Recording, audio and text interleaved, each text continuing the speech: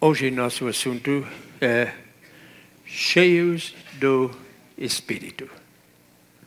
Mas antes de entrar no estudo, como sempre, vamos suplicar a presença de Deus em nosso meio. Nosso Deus, nosso Pai Celestial, aqui estamos diante de Ti.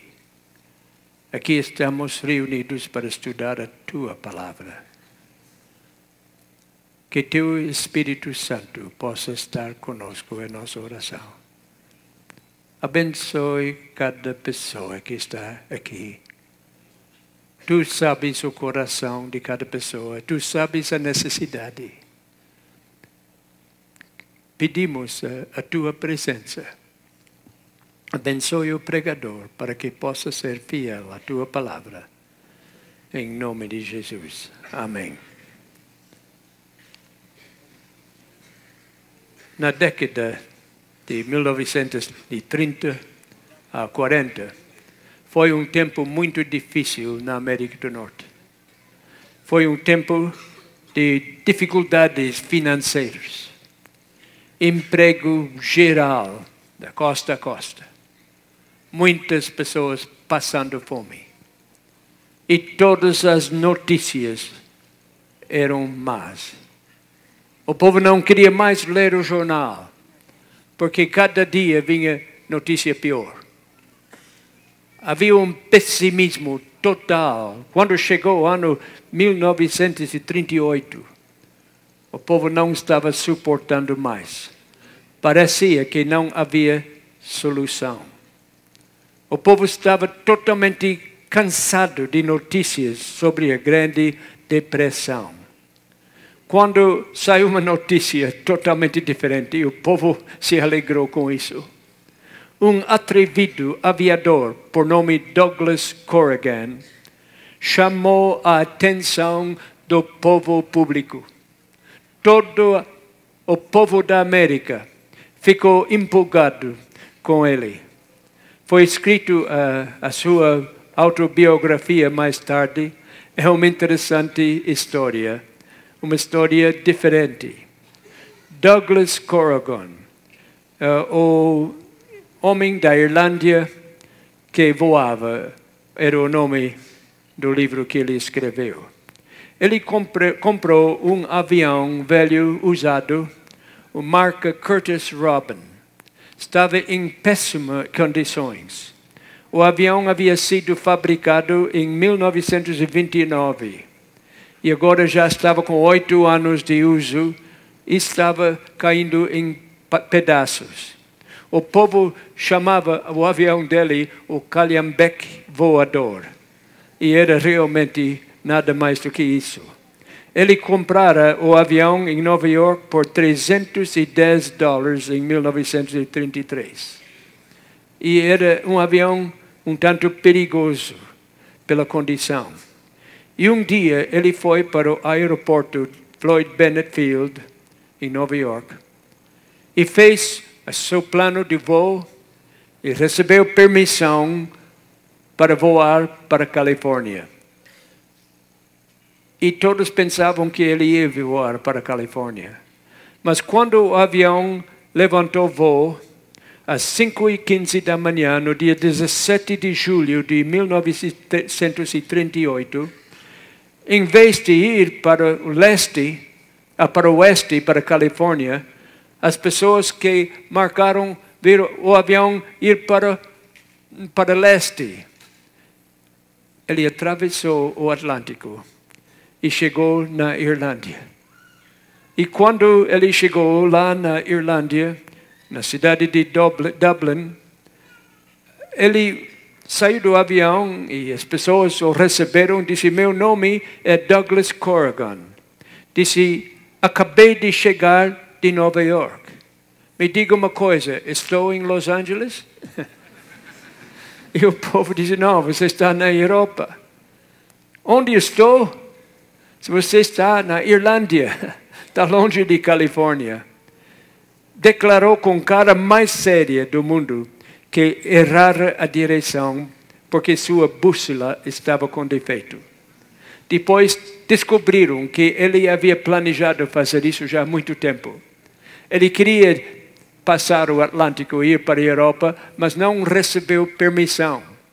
Então ele fingiu que ele havia feito um erro e que foi por engano que ele chegou lá. O povo achava muito graça que ele fez. E quando ele voltou, cerca de um milhão de nova-iorquinos lotaram o Broadway num desfile com direito a serpentina e papel picado. Fizeram uma grande festa para receber esse homem atrevido. O próprio Charles Lindbergh, que havia feito o primeiro voo transatlântico uh, em 1927, eh, não recebeu uma festa tão grande como uh, Douglas Corrigan.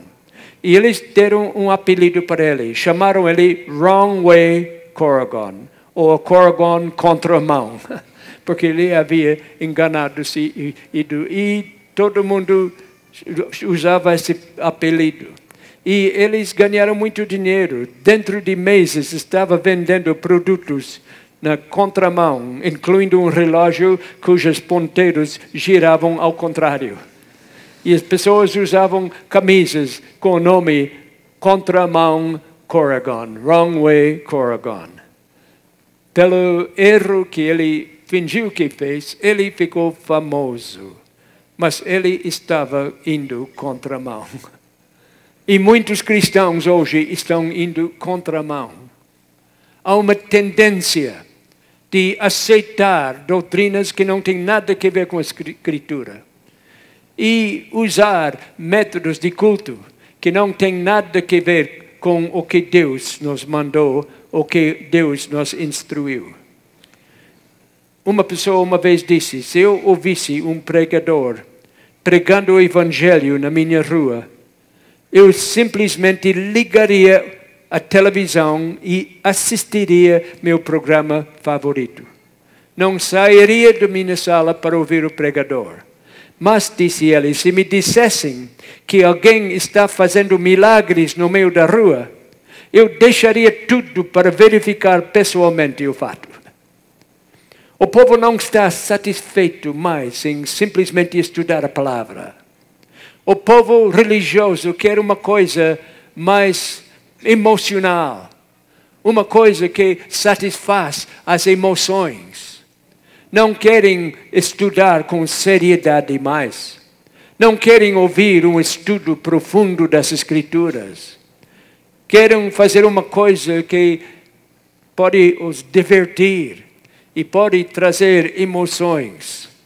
O nosso século tem sido chamado o século do Espírito Santo. Mas, infelizmente, muitas pessoas que dizem que estão cheios do Espírito Santo estão indo contra a mão. Há uma mudança de fato para fantasia.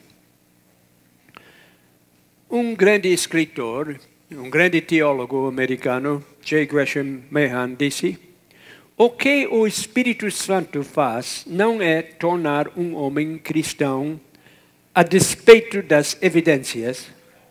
Ao contrário, retire-lhe dos olhos aquilo que o cega e permite que ele enxergue as evidências. A religião e a doutrina precisam fazer sentido. Tem algumas pessoas que dizem para ser cristão tem que fechar os olhos e cometer suicídio intelectual. Vai pelos sentimentos, e para com isso. E muitas pessoas não abrem a Bíblia. Como falamos ontem, estamos continuando de ontem. Eles acham que há uma tensão entre o Espírito Santo e a Bíblia. E que o cristão tem que escolher: ele vai ter o Espírito Santo ou ele vai seguir a Bíblia. E muitas pessoas que dizem ter o, o Espírito Santo não usam mais a Bíblia, não estudam mais a Bíblia mas eles só procuram coisas sensacionais. A Bíblia Sagrada é nosso guia. E como falamos ontem, a Bíblia foi escrita pela, pelo Espírito Santo. Portanto, não pode separar a verdade da Bíblia com o que o Espírito Santo nos fala. O Espírito Santo, se falasse uma coisa contrária à Bíblia, então o Espírito Santo estaria se contradizendo a si mesmo, porque ele é o autor das Escrituras. O Espírito Santo, sendo autor das Escrituras, não pode contra, contradizer o que a Bíblia disse. A Bíblia diz que o Senhor Deus não fará nada sem ter revelado os seus segredos aos profetas pelo Espírito Santo. 1 João 4, versículo 1 diz: Amados, não deis crédito a qualquer espírito, antes provai os espíritos se procedem de Deus, porque muitos falsos profetas têm saído pelo mundo afora. Todos os espíritos não são o Espírito Santo. Há manifestações sobrenaturais que muitas pessoas acham que é o Espírito Santo e não é. Qualquer coisa que vem de qualquer lugar que contradiz as Escrituras não é o Espírito Santo. A Bíblia é bem clara sobre isso. E muitas coisas que estão sendo feitas em nome do Espírito Santo não têm nada a ver com o Espírito Santo. Nada, absolutamente nada. Isaías 8, 19 disse: Quando vós disseram, consultai os necromantes e os adivinhos que chilreiam e murmuram, acaso não consultará, consultará o povo o seu Deus a favor dos vivos?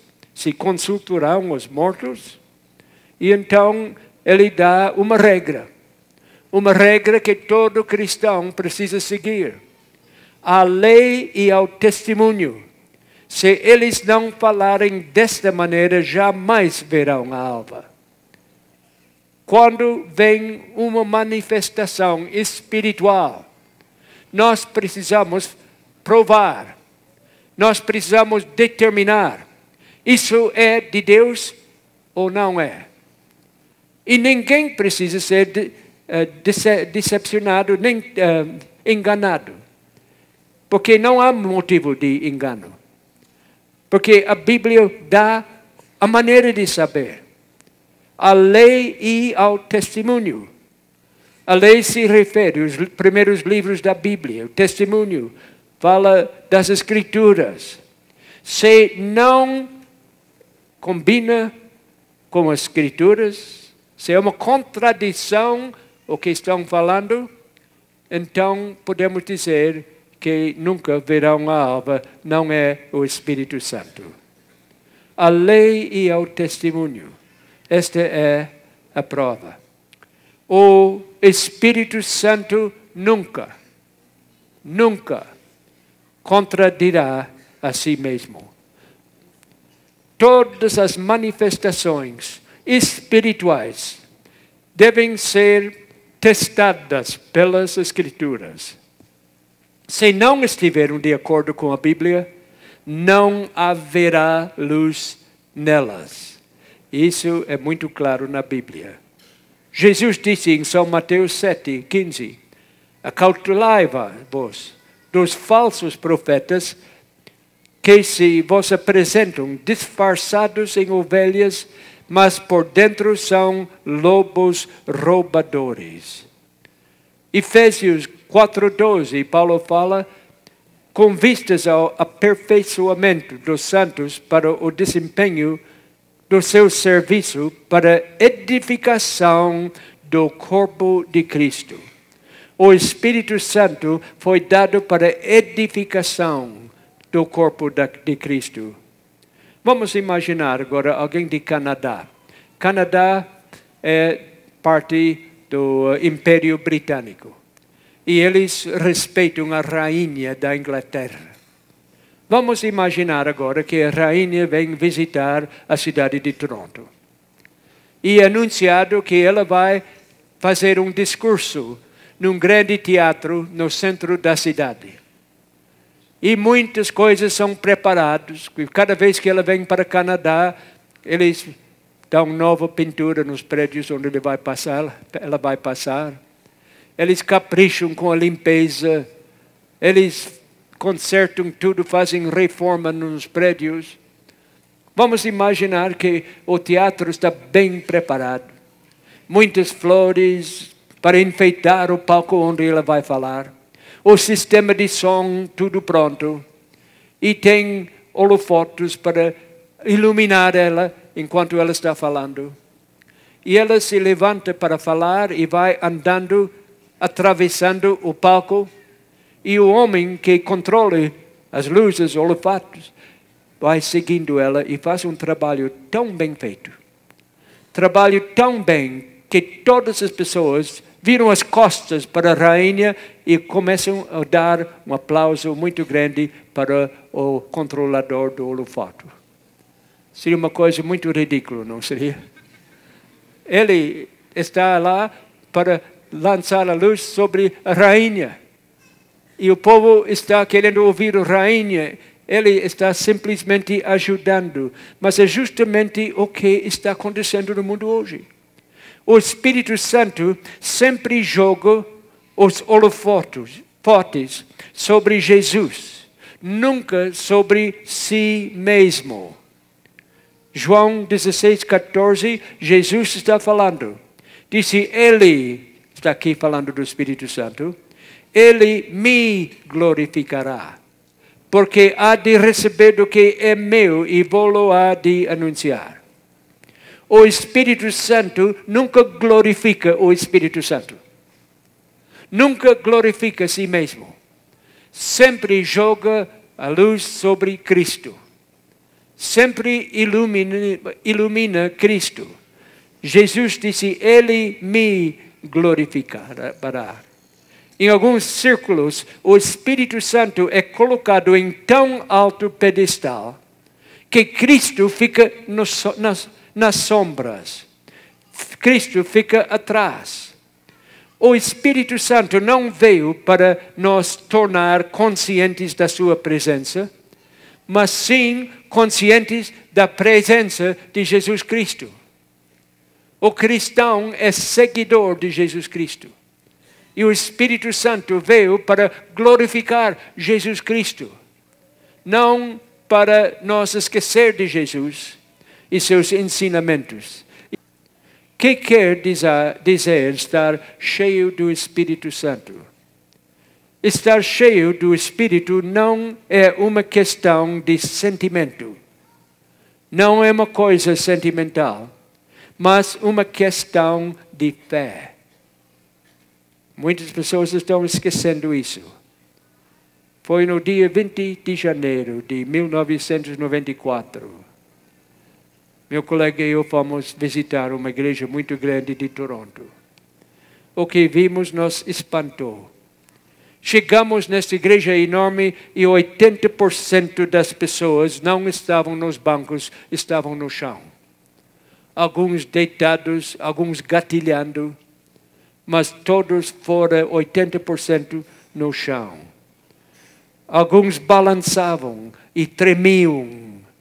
Disseram que foi um encontro com o Espírito Santo. Alguns dançavam, alguns gargalhavam Outros latiam como cães enquanto gatilhavam no chão. Outros ainda guinchavam como porcos. O sonoplasta agia como bêbado e não conseguiu mais controlar o som. A recepcionista da igreja não conseguiu falar por três dias, porque disse, ela, disseram eles que ela estava embriagada com o Espírito Santo. A esposa de um líder, algumas vezes ficou tão bêbada com o Espírito Santo que seu marido tinha que carregá-la para casa. E quando chegava em casa, ela não podia se preparar para a cama, ele tinha que despila de tão intoxicado que ela estava. Atualmente, algumas igrejas têm uma pessoa que eles chamam de barman do Espírito Santo. O garçom, que distribui porções de Espírito Santo aos membros até que estejam completamente inebriados.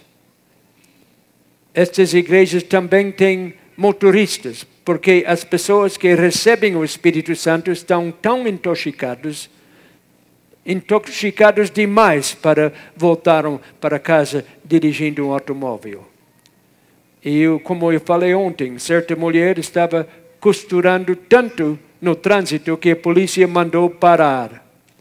E ele teve que fazer o teste de bafômetro e quando ela assoprou no aparelho, o policial caiu no chão dando gargalhados e também ficou embriagado. Eles têm nesta igreja a cola do Espírito Santo. As pessoas caem no chão e ficam colados no chão. E não podem levantar, podem só mexer com os braços e os pés, mas o corpo está colado. Um senhor ficou colado seis horas sem poder levantar. Estava com fome, mas não podia nem comer, porque estava preso no chão com cola do Espírito Santo. Uma mulher ficou colada no chão da igreja do meio-dia às seis horas da tarde.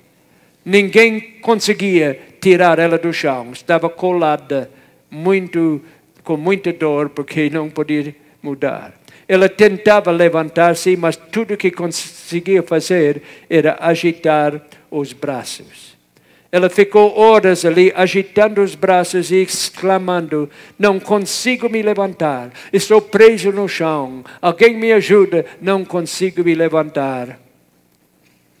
Por que essas coisas? Eu perguntei às pessoas que seguem esse caminho e dizem que eles estão seguindo a Bíblia. Disse o precedente para esse tipo de acontecimento deu-se no dia de Pentecostes porque no dia de Pentecostes, todos os seguidores de Cristo agiam como se estivessem embriagados. Os discípulos devem ter se comportado como pessoas intoxicadas, porque o povo de Jerusalém achou que eles estavam bêbados, quando realmente estavam cheios do Espírito Santo. Nós vamos estudar a Bíblia um pouco para ver se isso é realmente a verdade. Lemos em Atos 2,4: passaram a falar em outras línguas, segundo o Espírito lhes concedia que falassem. Eles falaram em outras línguas, eram línguas compreendidas, sim, a Bíblia diz que cada pessoa compreendia na sua própria língua. E as pessoas lá ficaram admirados. Disseram como os ouvimos falar, cada um em nossa própria língua materna.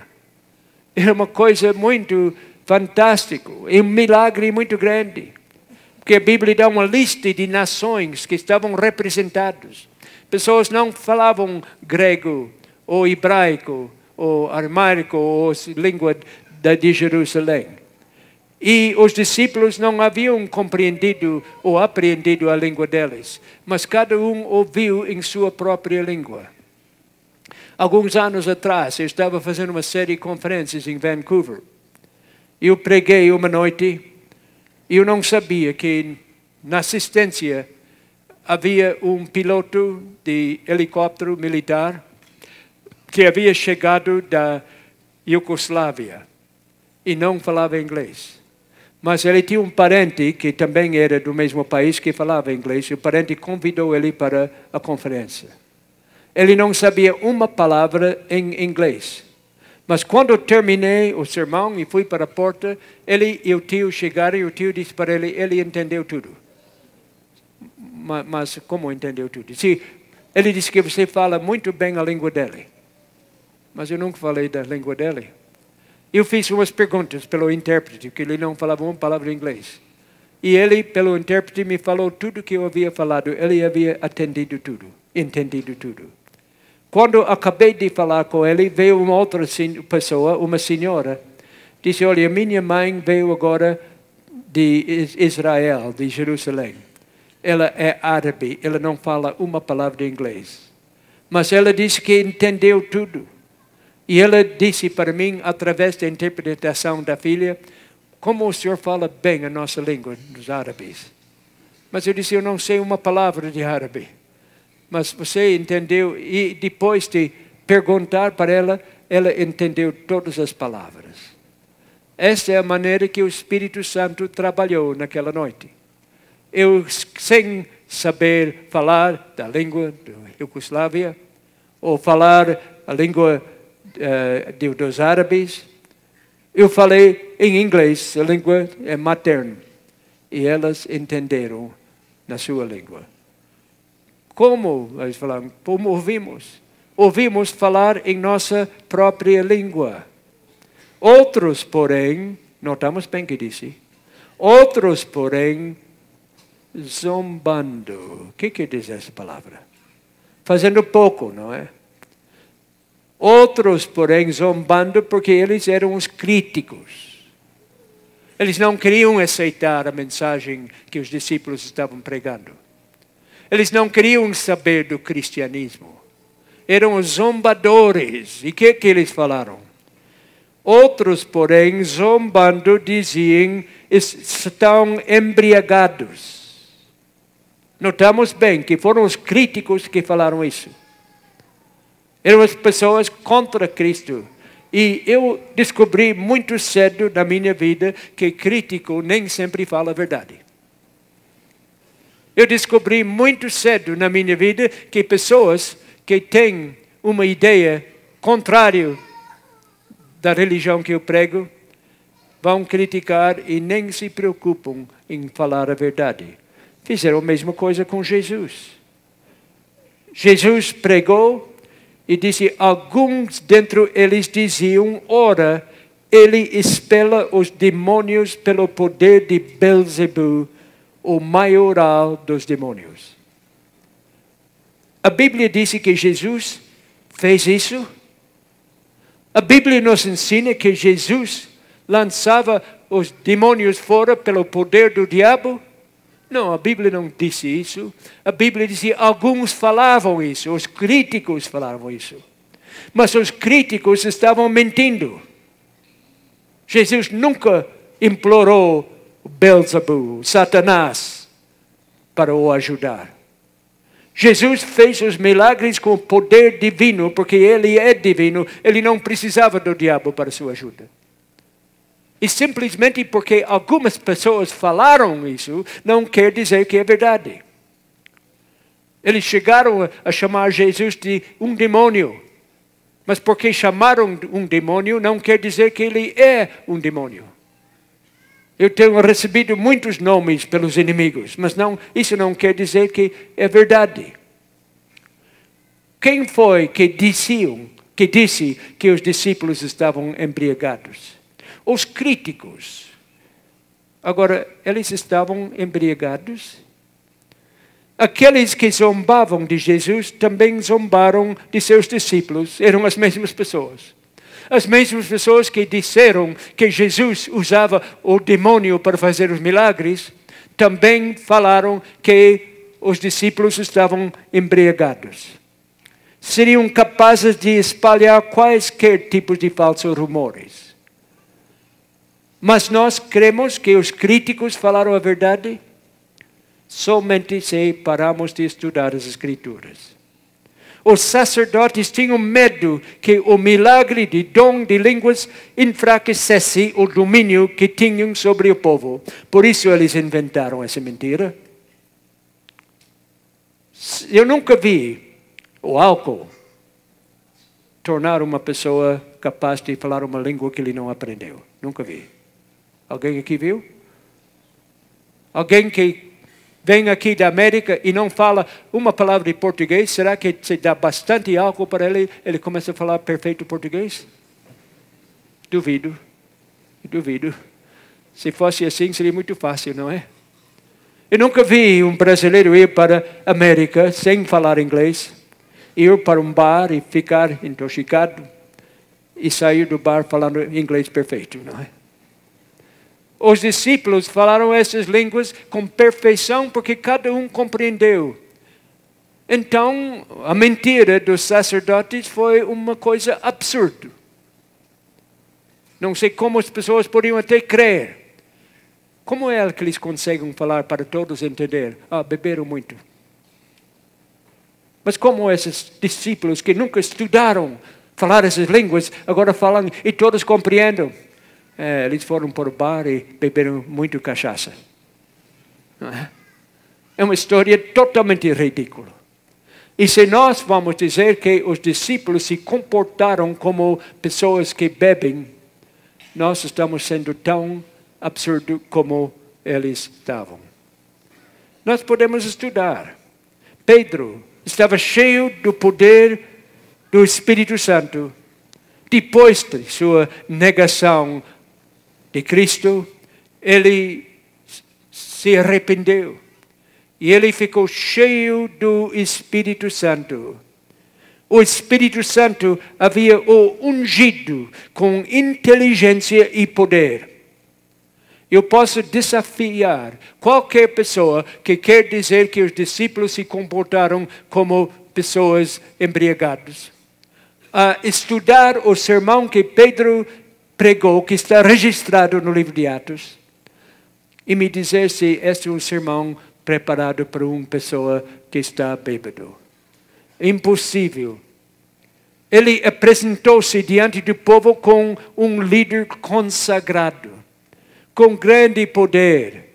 Em vez de agir de forma insegura e tímida, ele se portava com ousadia. Ele pregou com grande força e mostrou as suas fortes convicções. As profecias concernentes a Cristo foram apresentadas com método e clareza que uma pessoa que bebeu whisky não podia apresentar. Uma pessoa que passou a noite no bar e não pode nem ficar em pé, não poderia ter feito uma pregação dessa. Sua atitude era exatamente oposta à de um homem bêbado. Os efeitos do álcool e os efeitos do Espírito Santo não são de forma alguma semelhantes. Posso repetir isso?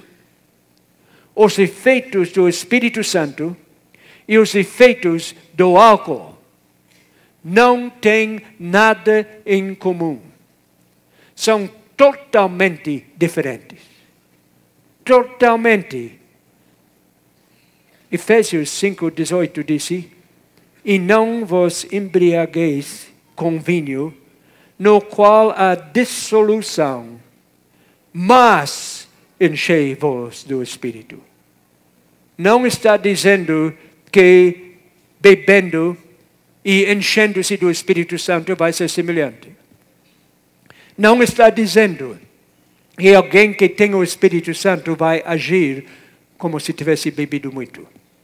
Ao contrário, diz: Não vos embriagueis com vinho, no qual há dissolução, mas enchei-vos do Espírito. São duas coisas totalmente diferentes. E essa palavra traduzida por dissolução veio da palavra grega, acostia. O que, que significa essa palavra? Significa deboche. Significa libertinagem. A palavra grega que eles usaram significa devassidão. Nenhuma dessas coisas vem do Espírito Santo. se refere a qualquer tipo de excesso. Não tem nada a ver com o que acontece com o Espírito Santo. São os resultados naturais de se embebedar com vinho. Não são resultados de estar cheio do Espírito Santo. O álcool e o Espírito Santo estão separados com um abismo enorme porque a diferença entre um e outro é muito grande. A bebedeira sempre leva uma pessoa para baixo. Quanto mais uma pessoa bebe, mais baixo ele fica. Para profundezas da irracionalidade e selvageria. Uma pessoa embriagada não pode racionar. Eu já tentei pregar para pessoas embriagadas, não adianta. Eu já tentei dar estudo bíblico para alguém que bebeu muito, é tempo perdido. Ele não entende nada. Beber leva a pessoa para baixo. O Espírito Santo não faz isso. Quando alguém está cheio de Espírito Santo, no entanto, é elevado até as alturas da presença de Deus. Totalmente contrário. Nada em comum. Por que as pessoas embebedam? Por que eles ficam embriagados? Procuram divertimento. Onde as pessoas bebem a folia, a sensação de alegria, e eles acham que estão muito contentes e felizes, e há gargalhadas fortes. A personalidade muda completamente. A pessoa comum, de repente, acha que é uma pessoa muito importante. O ignorante que mal sabe as letras do alfabeto pensa de repente que é um filósofo. E ele fala os maiores besteiras pensando que está falando sabedoria. Um pobre miserável que não tem sequer duas camisas transforma-se num milionário e começa a se gabar que é muito rico quando não tem nada. Os efeitos do Espírito Santo nunca são enganosos. O Espírito Santo não trabalha assim. O bêbado fica entorpecido enquanto que a pessoa cheia de Espírito Santo fica cheio de sabedoria. O álcool causa indisciplina, enquanto o Espírito Santo traz perfeita ordem. O álcool traz desequilíbrio, enquanto o Espírito Santo produz firmeza e, e, e equilíbrio. O álcool resulta em irreverência o Espírito Santo produz reverência.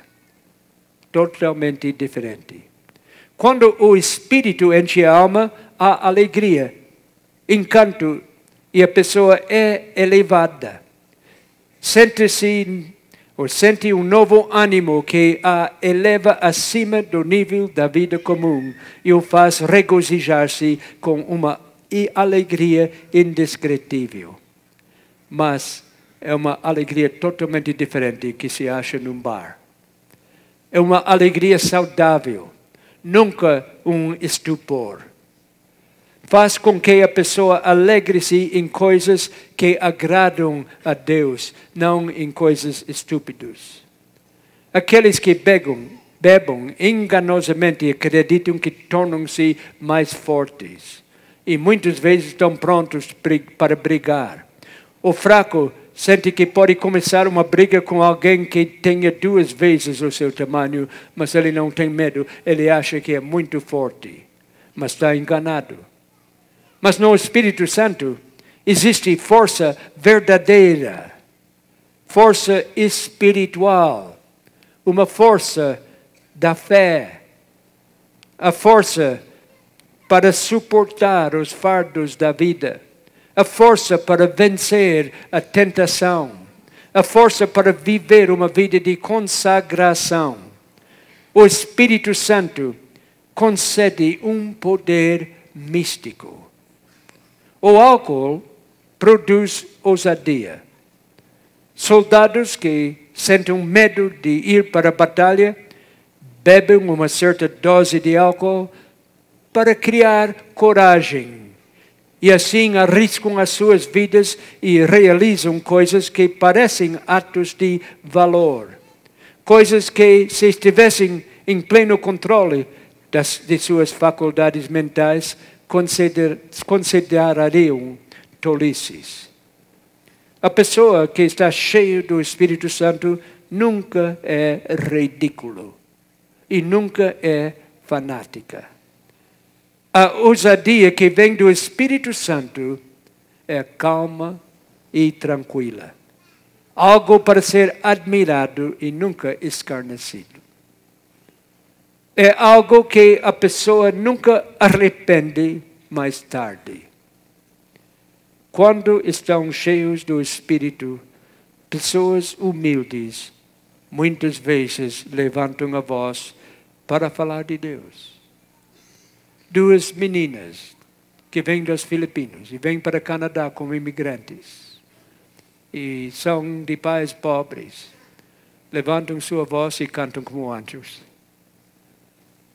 Homens sem escola, como o grande pregador Moody, sem um sapateiro, levanta e prega com um poder admirável. Este é o resultado do Espírito Santo. Durante os séculos, escravos e servos enfrentaram governos romanos sem temor. Alguém me disse: uh, cristianismo é para covarde. Essa pessoa nunca estudou a história do cristianismo. Os cristãos, durante os séculos, nunca foram covardes. Tiveram uma coragem tremenda coragem para ser, enfrentar perseguição e até muitos a morte. Porque o Espírito Santo dá coragem. Durante os séculos, enfrentaram leões e enfrentaram chamas sem vacilar. O Espírito Santo os encheu de coragem e poder. O Espírito Santo é o Criador de verdadeiros heróis. Quando ficamos cheios do Espírito Santo, podemos ser verdadeiros heróis. Heróis de verdade. Sem Ele, todos nós somos covardes. O vinho, às vezes, é ministrado para aplacar a dor e para afogar as tristezas. É um conhecido sedativo. O Espírito Santo também remove a depressão de maneira completamente diferente. Se você quiser esquecer sua tristeza, peça a visita do Consolador sempre funciona. Deus quer que você beba grandes goles de sua alegria, até que esteja cheio de seu espírito. Muitas pessoas não podem compreender de maneira nenhuma quando eu falo que faz um ano essa semana que sofri amputação. Perdi a perna. Faz um ano agora. Parece estranho. Mas esse último ano foi um dos anos mais felizes da minha vida. Eu posso dizer isso de verdade. Porque Deus está comigo. Eu sinto a presença dele mais depois da operação do que antes. Um psicólogo veio me visitar antes da operação. Disse: Sabe o que vai acontecer? Eu sei. O que, que vai acontecer com você? Vão cortar a minha perna. É, sim, mas estou falando de maneira mais séria. Como isso vai te afetar? Ah, tenho outra perna e dois braços e vou andar com dificuldade, mas vou me movimentar. Não, mas o senhor não está entendendo. Como isso vai afetar a sua cabeça? Ninguém falou em cortar a cabeça.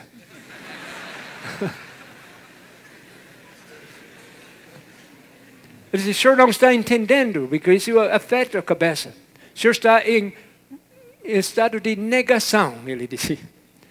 Aqui está meu cartão, quando você cair em si, pode me chamar. Se muito bem, doutor, eu vou dar meu cartão e quando o senhor precisa, pode me chamar também.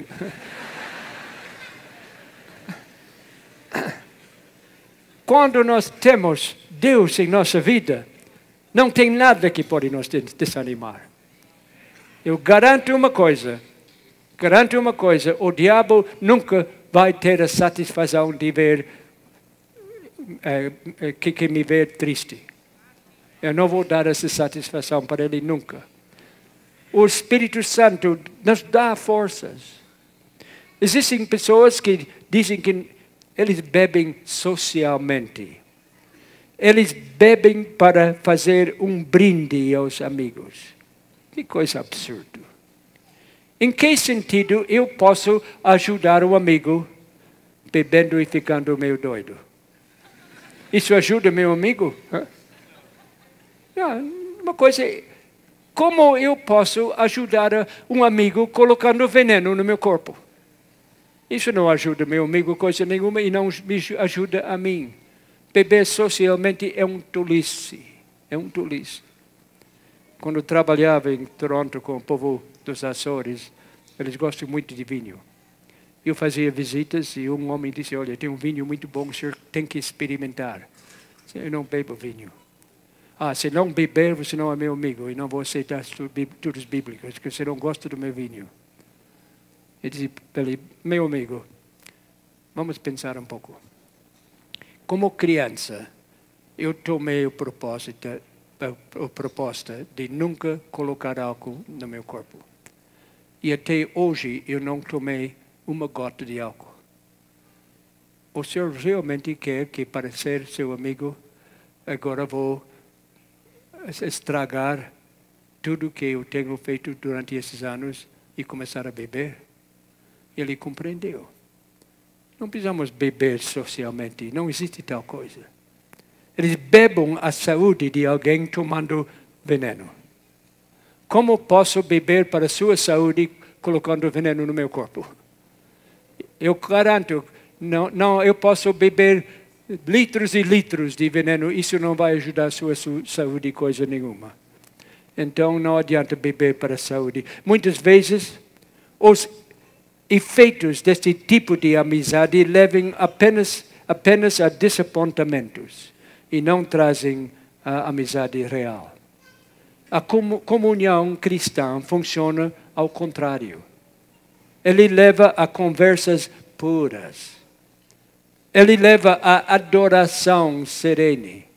Ele leva a alegria de compartilhar as múltiplas bênçãos de Deus.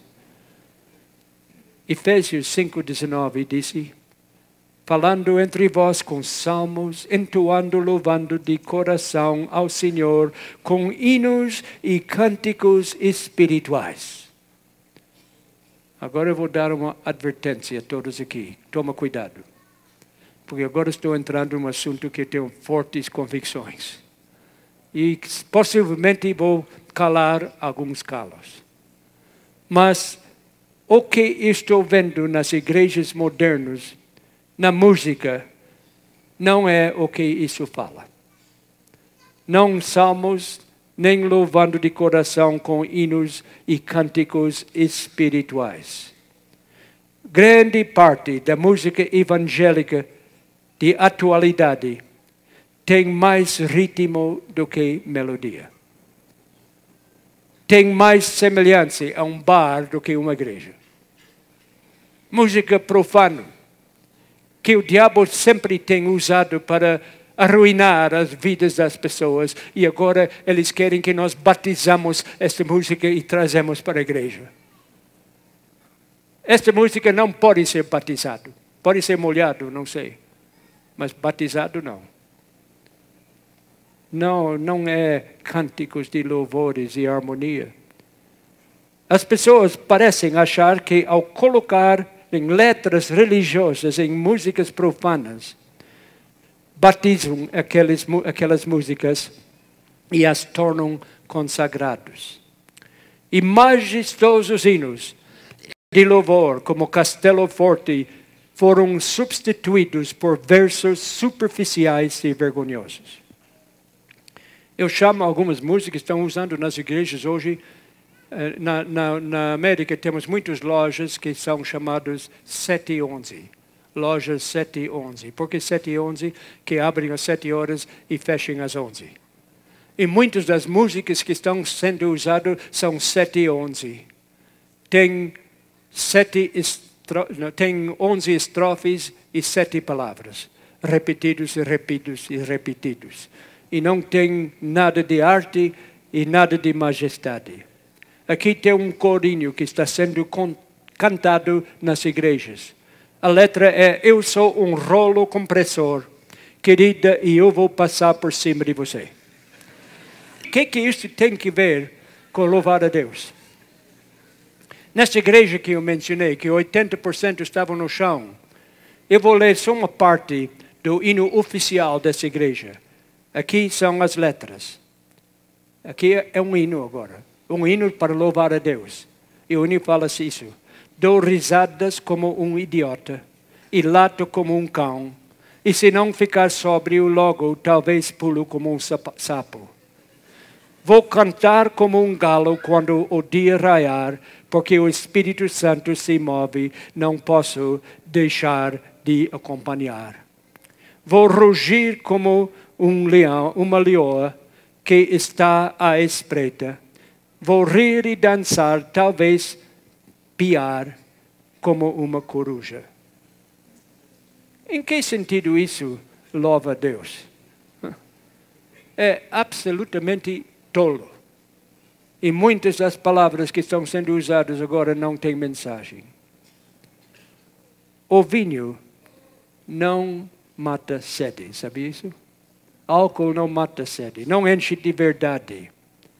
Quanto mais a pessoa bebe, mais sede que ele sente. Por quê?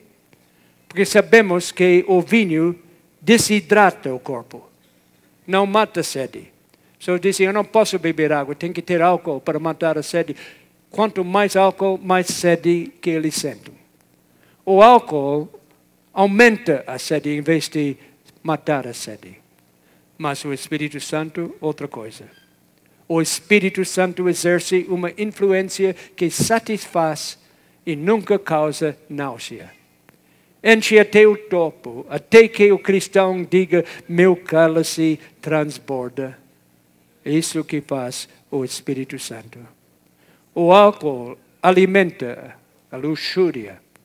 É uma sensação ardente de desejo. O vinho sempre cria confusão. Amortece o sentido da audição e as pessoas falam cada vez mais alto. Ficam propensas a criar confusão. Em vez de querer ser o primeiro, aquele que possui o Espírito ficará satisfeito em ser o último, se ao menos puder glorificar a Deus.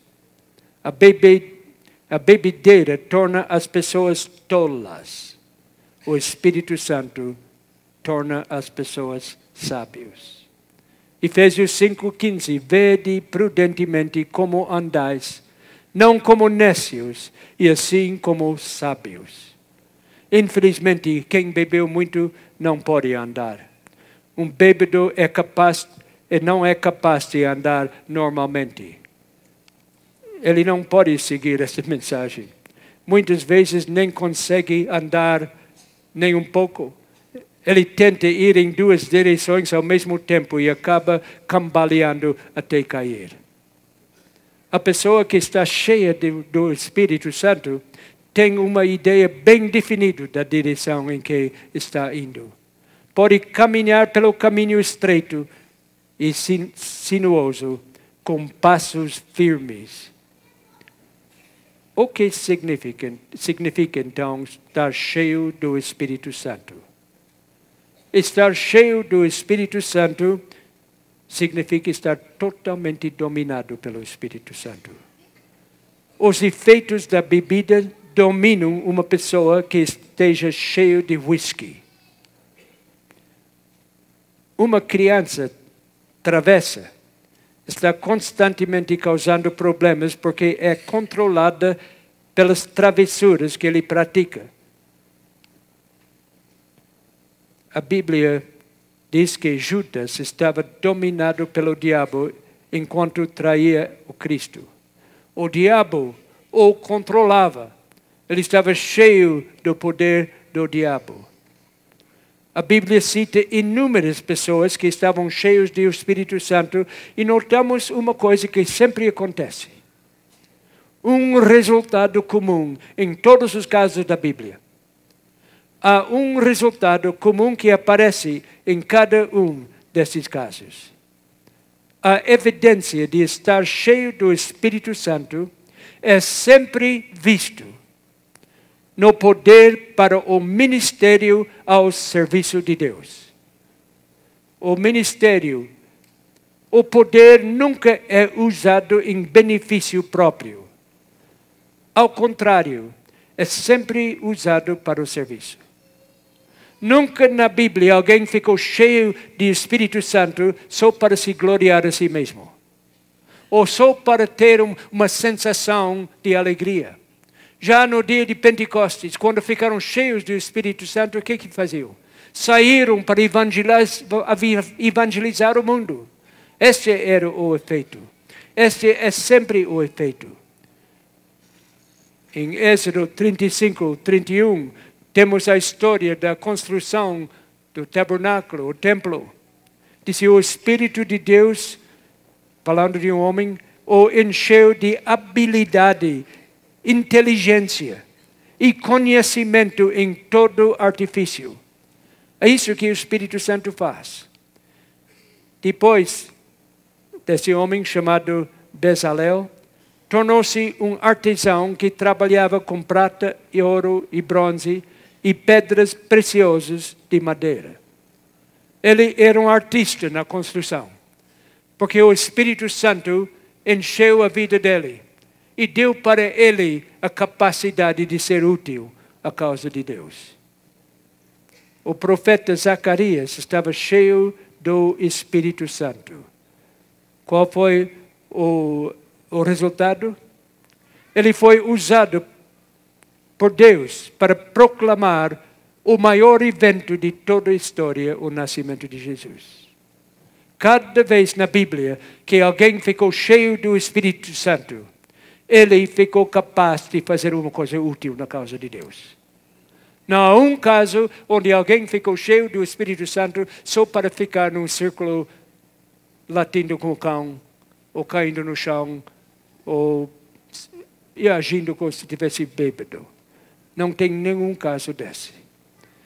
Atos 2, 4 diz que os discípulos estavam cheios do Espírito Santo e lideraram um dos maiores reuniões evangelísticas da história, com 3 mil pessoas batizadas num só dia. Esse foi o resultado. Pedro estava cheio do Espírito Santo, disse Atos 4:8, e depois de estar cheio do Espírito Santo, ele pregou um poderoso sermão cristocêntrico. Esse foi o resultado. Atos 4:31 disse todos ficaram cheios do Espírito Santo, com intrepidez anunciavam a palavra de Deus. Quando eles ficaram cheios do Espírito Santo, eles ficaram ativos na causa de Deus. Não ficaram em casa se gloriando a si mesmo. Não ficaram num círculo de pessoas esperando qualquer sensação. Quando ficaram cheios de Espírito Santo, eles ficaram cheios de capacidade de servir na casa de Deus. Atos 11, 24. Barnabé estava cheio do Espírito Santo e muita gente se uniu ao Senhor. Esse foi o resultado. Quando alguém está cheio do Espírito Santo, ele vai ter poder na vida. Ele vai ajudar pessoas ao caminho ao céu. Nunca o Espírito Santo enche uma pessoa sem ter um motivo de encher. Nunca o Espírito Santo enche uma pessoa só para sentir uma sensação. sensação. Sempre enche a pessoa para o serviço. Uma maneira de saber se uma pessoa está sob a influência do Espírito Santo é observar os frutos que ele produz. Os frutos indicam que tipo de árvore em que estão crescendo. Observe a conduta de um cristão e compara-a com os frutos do Espírito em Gálatas 5, 22 e 23. Gálatas disse que estar cheio do Espírito vai produzir certos frutos. Nenhuma desses frutos, nenhum desses frutos é latir com cão. Nenhum desses frutos é ficar colado no chão. Nenhum desses frutos é o que eles chamam o riso santo histérico. Todos esses frutos são coisas úteis na, casa, na causa de Deus. É, Efésios fala de três deliciosos cachos de fruto. O primeiro cacho tem três frutos: amor, alegria e paz. O segundo tem longanimidade, benignidade e bondade. Terceiro tem fidelidade, mansidão e domínio próprio. São os frutos do Espírito. Um grande explorador Roald Amundsen, foi procurar o Polo Norte. Mas quando ele chegou lá longe no Polo Norte, uh, o, o gelo o cercou ele não podia sair. E ele ficou dois anos sozinho, lá lutando contra o frio. Foi uma coisa horrível. Uma situação onde havia só gelo e frio que faria o frio aqui de São Paulo para ser até quente. Era 80 graus negativos. Lá ele estava com os cachorros que eram puxavam o trenó, mas não podia movimentar. Dois anos separados da civilização. Mas ele precisava dar uma mensagem para sua esposa. E um dia, um dia, ele escreveu uma carta para sua esposa. E ele pegou um pássaro que estava com ele, que havia levado com ele, uma pomba, e ele amarrou a mensagem aos pés do pássaro. Ele soltou o pássaro. O pássaro subiu, fez alguns círculos para se orientar. E, em pouco tempo, começou a seguir rumo ao sul. E voou, e voou. E uma semana mais tarde, desceu no quintal da casa dele. E sua esposa viu uma mensagem amarrada aos pés. E ela sabia que seu marido ainda estava com vida. O Espírito Santo na Bíblia é comparado com pomba. E muitos séculos atrás, o nosso bom Deus mandou uma mensagem pelo Espírito Santo para ti e mim. Uma mensagem maravilhosa ele mandou a mensagem que é a Bíblia Sagrada. E a Bíblia Sagrada nos prova que há um caminho para a salvação. A Bíblia Sagrada nos mostra que todos nós podemos contar com a volta de Cristo e com a nova terra que Ele vai preparar. Esta é a bendita esperança de todos os santos.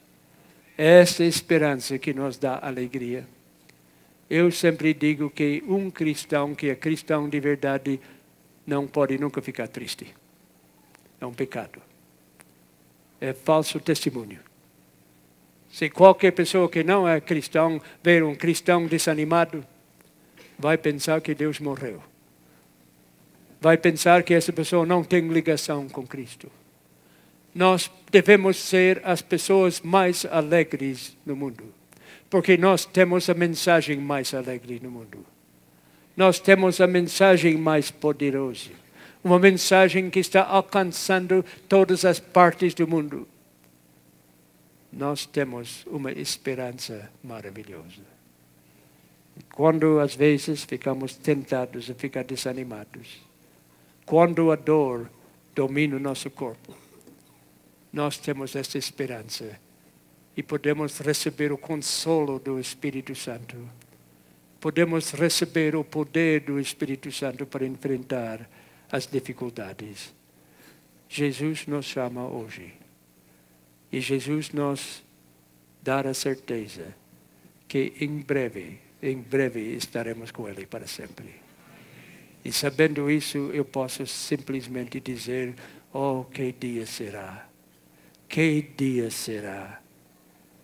Que dia será quando, enfim, chegarmos lá na terra de esplendor?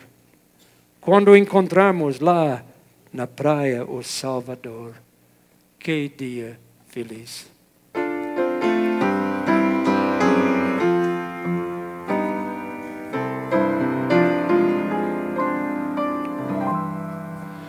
Quando enfim chegarmos lá na terra de esplendor, que dia feliz! Quando encontramos lá na praia o Salvador, que dia feliz!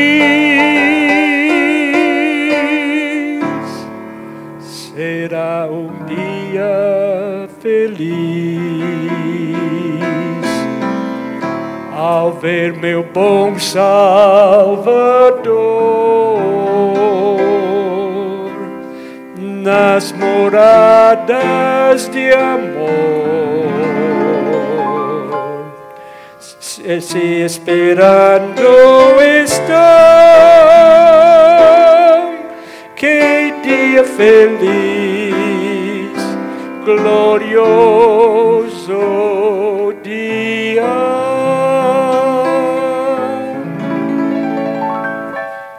Quando vimos a cidade y com comenzó, que dia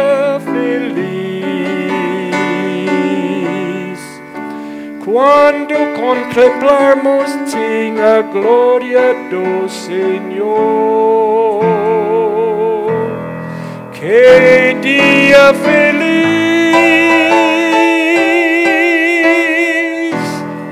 Será um dia feliz ao ver meu bom Salvador nas mansões de amor, me esperando assim. Que dia feliz, glorioso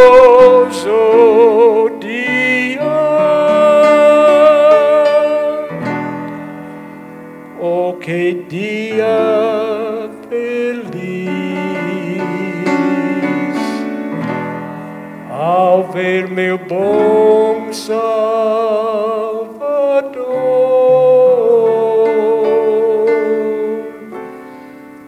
nas mansões do amor, me esperando assim.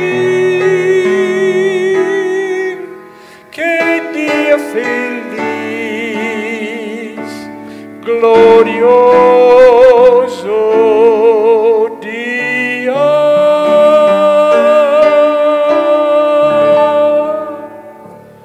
Curvemos a nossa cabeça em oração. Pai nosso, como aguardamos este dia feliz. Como é bom ter a certeza que o Espírito Santo está conosco. Não para nos levar à tolice, coisas sem sentido, mas para nos elevar, para nos encher de coragem e fé, para nos preparar para teu serviço, para que possamos fazer a tua vontade sempre. Pai, abençoe cada pessoa aqui. Ajuda para que todos que estão aqui possam sentir o poder do Espírito Santo na sua vida. Mesmo essa noite, ao sair daqui, que eles possam sentir no seu coração que tu estás presente pelo Espírito Santo. Ajuda para que todos nós possamos ficar cheios do Espírito Santo, para que também possamos ser uma benção para os outros demais. Que possamos mostrar o caminho de Jesus. Que Jesus possa estar dentro de nós pelo Espírito Santo, para que todos que nos se encontram conosco possam ver Jesus em nós.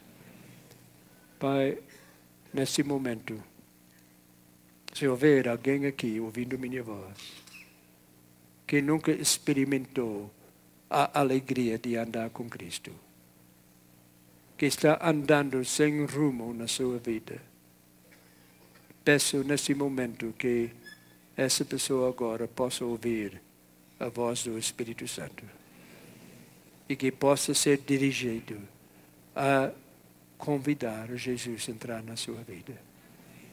E Pai, quando pensamos neste dia feliz, ajuda para que todos possam estar prontos. Como seria triste se alguém ouvindo minha voz agora faltasse. Pai, se alguém aqui não estiver com certeza de estar pronto, fala com essa pessoa agora. E pedimos que essa pessoa possa elevar uma prece ao céu, convidando o Espírito Santo a entrar no seu coração. Despede-nos agora com a tua paz e com a tua bênção. Pois pedimos tudo em nome de Jesus Cristo, nosso Salvador.